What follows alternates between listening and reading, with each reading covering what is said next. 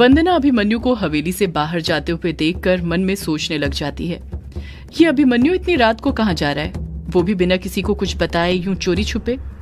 वंदना अभिमन्यु को हैरानी के साथ एक टक नज़रों से देख ही रही थी कि तभी अभिमन्यु दरवाजे से हवेली से बाहर चले जाता है और बाहर से ही वापस से हवेली का दरवाज़ा टिका देता है। अब दरवाजे को देखकर ऐसा लग ही नहीं रहा था कि किसी ने दरवाजे को वापस से खोला भी था। वंदना अभिमन्यु के बारे में सोचते हुए मन में बड़बड़ाती है। ये अभिमन्यु इतनी रात को कहाँ पर जा रहा है? इसके पीछे जाकर देखूँ क्या? अगले ही पल वंदना नाम में अपना सिर हिलाते हुए कहती है, नहीं नहीं, अभी पहले मैं जिस काम के लिए निकली हूँ, वो खत्म करती हूँ। रही अभिमन्यु की बात तो ये वैसे भी क्या कर लेगा? इससे पहले भी तो मैंने एक बार इसे बाहर जाते हुए देखा था, और जब इसका पीछा किया था तो ये बाहर निकलकर सिगरेट पी रहा था। हो सकता है आज भी सिगरेट पीने गया हो। वैसे भी बहुत दिनों से तो बिस्तर पर ही था ना, अब उसकी तलब बढ़ गई होगी, इसलिए इतनी रात को बाहर गया होगा। वंदना कदम आगे बढ़ाते हुए कहती है, पहले जिस काम के लिए निकली हूँ, उसे पूरा करती हूँ। अभी मुझे तहखाने में जाना चाहिए। वंदना कुछ याद करते हुए ही अपने कदम आगे बढ़ाते हुए कहती है, उस कछुए को तो मैं छोड़ूँगी नहीं। अच्छी खबर लूँगी। कुछ ज़्यादा ही मुँह खुलने लग गया है उसका। उसकी जबान पर लगाम लगाना पड़ेगा। इतना कहकर वंदना धड़ाधड़ फुर्ती के साथ अपने कदम आगे बढ़ाते हुए तहखाने की तरफ़ जाने लग जाती है। जब वो तहखाने में पहुँचती है तो देखती है कि तहखाने में ही अमोदिता, रजनी और कछुआ एक साथ बैठे हुए थे। उन तीनों को देखकर ऐसा लग रहा था जैसे वो तीनों वंदना के वहाँ पर आने का इंतज़ार ही कर रहे थे। जैसे ही वंदना वहाँ पर आती है, रजनी उस पर फूटते हुए कहती है, कहाँ रह गई थी तू? एक तो खुद हमें बुलाती है और ऊपर से खुद देर से आती है। रजनी कुछ कहती है, उससे पहले ही अमोदिता उबासी लेते हुए कहती है हाँ वंदना भाभी कहाँ रह गई थी आप? आपको पता है मुझे कितनी नींद आ रही है। वो तो आपने बुलाया था, इसलिए अपनी नींद तोड़कर आई हूँ। और आप उनकी सोकर आ रही हैं। वंदना चिढ़ते हुए कहती है, मैं कोई सो नहीं रही थी। वो तो अभी मन्नू दिख गया था तो उससे बचते बचाते आ रही थी। वरना तुम लोग भी जानते हो, अगर इतनी रात में उसके हत्थे चढ़ जाती तो उसे बाल की खाल उतारने में देर नहीं लगती। पता नहीं इतनी रात में कहा जा रहा था। कछुआ हैरानी के साथ कहता है, क्या कहा वंदना भाभी तुमने? अभिमन्यु इतनी रात में कहीं जा रहा था, पर कहा? वंदना गुस्से के साथ कहती है, मुझे क्या पता? वो मेरा दोस्त नहीं है, तेरा दोस्त है। तो तुझे तो पता ही होना चाहिए कि वो कहाँ गया है। वैसे भी आजकल तेरे दोस्तों को कुछ ज़्यादा ही पता चलने लग गया है हम सब के बारे में। कछुआ समझ जाता है कि वंदना की बात में एक टोट था। कछुआ वंदना को घूरते हुए कहता है, तुम कहना क्या चाहती हो वंदना भाभी? सीधे सीधे बोलो, यूँ घुमा फिरा कर बातें मत करो। वंदना गुस्से के साथ कहती है, मैं यही कहना चाहती हूँ कि तूने डायना को क्यों बताया कि मैं सौदाइन हूँ? जैसे ही वंदना ये बात बोलती है, कछुआ अमोदिता और रजनी तीनों की आँखें खुली की खुली रह जाती हैं। कछुआ वंदना को एकटक नज़र से देखते हुए कहता है क्या कहा? मैंने बताया। वंदना अगले ही पल कहती है। हाँ तूने ही तो बताया होगा। तेरे सिवा इस घर में और किसे पता है कि हम तीनों सौदाइन हैं? वो राज जो इतने सालों तक कोई नहीं जान पाया इस घर में। कल की आई उस डायना को कैसे पता चल गई? कछुआ बड़बड़ाते हुए कहता है, मुझे नहीं पता डायना को ये बात कैसे पता चली। मैं सच कहता हूँ, ये बात मैंने उसे नहीं बताई। मेरी मरी हुई दादी की कसम। रजनी कुछ सोचते हुए कहती है, अगर इस कछुए ने ये बात उस डायना को नहीं बताई तो उसे ये बात कैसे पता चली? अमोदिता कुछ डरते हुए कहती है, वंदना भाभी, क्या डायना को ये भी पता है कि मैं और माँ भी सौदाइन है? वंदना जवाब देती है, मुझे नहीं पता कि उसे ये बात पता है या नहीं, पर इतना पता है वो मेरे बारे में सब जानती है। उसे तो ये भी पता है कि मैं पागल नहीं हूँ। अमोदिता फिर डरते हुए कहती है, वो डायना सौदाइन वाली बात जाकर दिलीप फूफा जी को ना बता दे, वरना हम गए। वंदना अमोदिता की टेंशन को कुछ कम करते हुए कहती है, नहीं नहीं अमोदिता, तू डर मत। वो डायना ये बात किसी को नहीं बताने वाली, क्योंकि ये राज रखने के बदले में उसने मुझसे चमगादड़ की हड्डी ली थी। और उसकी आँखों में देखा था मैंने, एक सच्चाई थी। वो इस राज को राज ही रखेगी। कछुआ वंदना को बीच में ही टोकते हुए कहता है, क्या कहा? डायना ने इस राज को छुपाने के लिए वंदना भाभी तुमसे चमगादड़ की हड्डी मांगी थी। पर क्यों? आखिर वो चमगादड़ की हड्डी का क्या करने वाली है? वंदना जवाब देती है, पता नहीं, पर एक और ज़रूरी बात, वो तो मैं तुझे बताना ही भूल गई। कल रात अभिमन्यु की हालत बहुत खराब हो गई थी। उसे देखकर ऐसा लग रहा था जैसे वो अपनी ज़िंदगी की आखिरी साँसें गिन रहा हो। मैं तो उसे देखते ही समझ गई थी कि अब उसके ऊपर जाने का वक्त आ गया है, पर पता नहीं डायना ने रात में क्या किया। जब अगली सुबह हुई और मैंने अभिमन्यु को देखा तो वो एकदम ठीक ठाक था, जैसे उसे कुछ हुआ ही ना हो। तूने भी तो अभिमन्यु की बिगड़ती हालत देखी थी ना? कछुआ कुछ सोचते हुए कहता है हाँ देखी थी। इसका मतलब अभिमन्यु को ठीक करने वाली डायना है। उसी ने अभिमन्यु को ठीक किया है, पर कैसे? वंदना झट बोल पड़ती है। पता नहीं, उसने अभिमन्यु को कैसे ठीक किया? जब उसने मुझसे चमगादड़ की हड्डी ली थी तो सीधे अभिमन्यु के कमरे में ही घुसी थी और उसने झट दरवाज़ा लगा दिया था। उस वक्त अभिमन्यु बेड पर दर्द से तड़प रहा था। मैं तो रात भर उस दरवाजे के बाहर ही खड़ी हुई थी और ये देखने की कोशिश कर रही थी कि अंदर क्या हो रहा था, पर कुछ देख नहीं पाई, बस सुन पाई। रजनी तुरंत पूछ पड़ती है, फिर क्या सुना तूने, वंदना? क्या बातें चल रही थी दोनों के बीच? वंदना कुछ शर्माते हुए कहती है, बातें नहीं चल रही थी, रजनी, कुछ और ही चल रहा था दोनों के बीच में। दोनों के कराहने की आवाज़ें आ रही थी। अमोदिता मुँह बनाते हुए कहती है, क्या कहा वंदना भाभी? दोनों की कराहने की आवाज़ आ रही थी, पर ये कैसे हो सकता है? दर्द में तो अभिमन्यु था ना तो फिर डायना क्यों करा रही थी? वंदना जवाब देती है, वही तो मेरी समझ में नहीं आ रहा कि डायना क्यों करा रही थी। और उसी तरह जिस तरह से कराहने की आवाज़ आ रही थी, वो दर्द कुछ और ही दर्द था। उन दोनों के कमरे से वैसी ही आवाज़ें आ रही थी जैसी नए नवेले दूल्हे दुल्हन के कमरे के अंदर से आती है। जैसे ही वंदना ये बात बोलती है, अमोदिता खींखी करके अपने दांत दिखाने लग जाती है। वंदना अपनी बात पूरी करते हुए कहती है, बताओ, रात में दरवाज़ा बंद कर डायना ने किया था और सुबह खोला अभिमन्यु ने था? पूरी रात डायना अभिमन्यु के साथ एक कमरे के अंदर थी।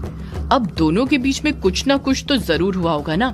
एक लड़का और लड़की जब एक साथ एक कमरे में रुके हो तो दोनों शांति से तो नहीं रह सकते ना? कुछ ना कुछ तो ज़रूर करेंगे। वंदना की बातें सुनकर कछुआ इतना तो ज़रूर समझ गया था कि डायना और अभिमन्यु के बीच कल रात कुछ न कुछ तो ज़रूर हुआ होगा, जिस कारण अभिमन्यु ठीक हो पाया था। वो कुछ अंदाज़ा ही नहीं लगा पा रहा था कि आखिर डायना ने वंदना से चमगादड़ की हड्डी क्यों मांगी थी, और वो कैसे जानती थी कि वंदना सौदाइन है? उसने कैसे अभिमन्यु को रात के रात में ठीक कर दिया था? कछुआ इतना समझ गया था कि कुछ न कुछ गड़बड़ तो ज़रूर थी। ये डायना और अभिमन्यु के बीच कल रात कोई न कोई खिचड़ी तो ज़रूर पकी थी जो अभी भी पक रही थी। कछुआ तुरंत फर्श पर से उठते हुए बड़बड़ाता है। मुझे जाना होगा। मैं जा रहा हूँ। रजनी हैरानी के साथ कहती है, अब तू कहाँ जा रहा है? कछुआ जवाब देता है, अभिमन्यु का पीछा करने। मुझे पता लगाना होगा कि वो गया कहाँ है। वो और डायना कुछ न कुछ तो ज़रूर कर रहे मिलकर। मुझे उस बारे में पता लगाना ही होगा। वंदना कहती है, पर तू कैसे अभिमन्यु को ढूंढेगा? वो तो अब तक पता नहीं कहाँ पहुँच गया होगा। कछुआ वहाँ से जाते हुए कहता है, उसे कैसे ढूंढना है, ये मुझ पर छोड़ दो। इतना कहकर कछुआ हड़बड़ाहट के साथ निकल जाता है। वो इतना बहरा जाता है कि वंदना से ये बात पूछना ही भूल जाता है कि उस रात वो कहाँ पर जा रही थी, क्या करने जा रही थी, किसे संकेत भेजने जा रही थी, जब वो कायर के साथ पंचिम गाँव जा रहा था। वो आधी रात में कहा गई थी? कछुआ बहुत कुछ वंदना से पूछना चाहता था, पर वंदना ने उसके दिमाग में अभिमन्यु और डायना की बातें इस कदर बैठा दी कि वो बिना कुछ पूछे ही वहाँ से निकल गया था। इस तरफ़ हवेली के कमरे में ही युग अपने पापा के लिए लेटर लिखते लिखते सो गया था, पर उसने अभी भी अपने हाथ में वो पेन पकड़ कर रखा हुआ था, जिसके अंदर से रेड इंक निकलते जा रही थी। युग का सिर टेबल के ऊपर था और उसका हाथ अपने आप चल रहा था। वो पेन सच में जादुई था, जैसे उसके अंदर भी कोई शक्ति हो। उसके अंदर से निकलती हुई रेडिंग खून की तरह लग रही थी। वो पेन अपने आप चलते हुए लिखते जा रहा था। रुकने का नाम नहीं ले रहा था। दीवार पर लगी घड़ी में जैसे ही रात के दो बजते हैं, वो पेन अपने आप चलते हुए रुक जाता है। जैसे ही वो पेन रुकता है, सोए हुए युग के कानों में उसके पापा के कराहने की आवाज़ गूंजने लग जाती है। मुझे बचाओ युग बेटा। मुझे मुक्ति दिलाओ। मुझे बचाओ युग बेटा। इस कैद से रिहाई दिलाओ। युग के कानों में बार बार उसके पापा के पुकारने की आवाज़ें गूंज रही थी, जिस कारण उसकी नींद खुल जाती है। जैसे युग की नींद खुलती है, उसे उसके पापा की याद आने लग जाती है। नींद में से उठने के बावजूद भी उसे उसके पापा के पुकारने की आवाज़ सुनाई दे रही थी। उनके तड़पने की आवाज़ सुनाई दे रही थी। युग को उसके पापा की आवाज़ सुनाई देती है। मुझे बचाओ युग बेटा, मुझे बचाओ। अपने पापा को मुक्ति दिलाओ। मुझे बचाओ युग बेटा। युग को उसके पापा के साथ ही यामिनी के पुकारने की भी आवाज़ सुनाई देने लग जाती है। मुझे बचाइए युग बाबू, मुझे बचाइए, अपनी यामिनी को बचाइए। युग को उसके कानों में बार बार उसके पापा और यामिनी के तड़पने की आवाज़ सुनाई दे रही थी। वो दोनों बार बार उसे पुकारे जा रहे थे। वो आवाज़ें इतनी तेज हो जाती हैं कि युग से वो आवाज़ें सुनी नहीं जा रही थी। उसके कानों में वो आवाज़ें चुभने लग जाती हैं और वो दोनों हाथों से अपने कान बंद कर लेता है। कान बंद करते ही उसे आवाज़ें सुनाई देनी बंद हो जाती हैं, पर उन आवाजों को सुनकर उसके दिल में वापस से उसके पापा और यामिनी के लिए तड़प जाग गई थी। युग मन में सोचने लग जाता है, मैं देर नहीं कर सकता, भले ही उस काले साय ने मुझे कल रात तक का वक्त दिया था, पर उसके पास मेरे पापा और यामिनी कैद हैं। पता नहीं यामिनी किस हालत में होगी, वो ठीक भी होगी या नहीं, मुझे अभी इसी वक्त निकलना होगा। अगले ही पल युग के दिमाग में अभिमन्यु का भी ख्याल आता है और वो अभिमन्यु के बारे में सोचते हुए बड़बड़ाता है। ये अभिमन्यु पहले से ही मेरे खिलाफ है। मुझे नहीं लगता अभिमन्यु इतनी आसानी से मुझे मेरे पापा का शरीर उस काले साय को सौंपने देगा। इससे पहले कि वो कुछ करे, मुझे रोके, मैं आज रात ही रात में ये ताबूत उस काले साय को सौंप दूँगा और उस काले साय से अपने पापा और यामिनी को रिहा करवा लूँगा। इतना कहकर युग फुर्ती के साथ कुर्सी पर से उठ जाता है। वो पेन और लेटर्स जो उसने अपने पापा के लिए रखे थे, उसका उन पर ध्यान ही नहीं जाता है और वो टेबल पर ही रह जाते हैं। वो बात उसके दिमाग से ही निकल जाती है कि उसने अपने पापा के लिए कुछ लिखा था।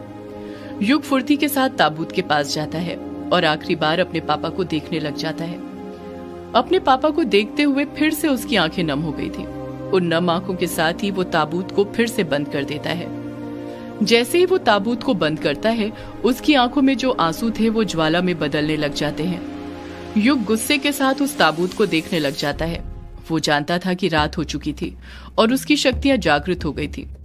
अब उसे वो ताबूत उठाने के लिए अपने किसी दोस्त की ज़रूरत नहीं थी। युग उस ताबूत को एक टक नज़र से देख ही रहा था कि देखते ही देखते युग के हाथ में जो बवंडर का निशान बना हुआ था, उसमें मूवमेंट होने लग जाता है। वो उसकी कलाई पर ही घूमने लग जाता है। अचानक से वो ताबूत जिस पर युग ने अपनी नज़रें टिका कर रखी हुई थी, वो भी ऊपर हवा में उठने लग जाता है।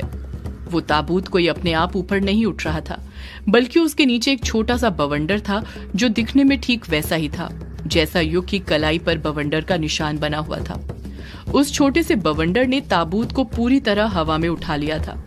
युग उस ताबूत और बवंडर को एक टक नज़र से देखते हुए खुद से बड़बड़ाता है। मैं आ रहा हूँ कालिसाए मैं आ रहा हूँ तेरे पास। इतना कहकर युग छोटे से बबंडर की मदद से ताबूत को हवा में ही उड़ाते हुए हवेली से बाहर निकल जाता है और ग्रेवयार्ड कोठी की तरफ़ जाने लग जाता है। सदियों से है पुरानी, ये है यक्षिणी की कहानी।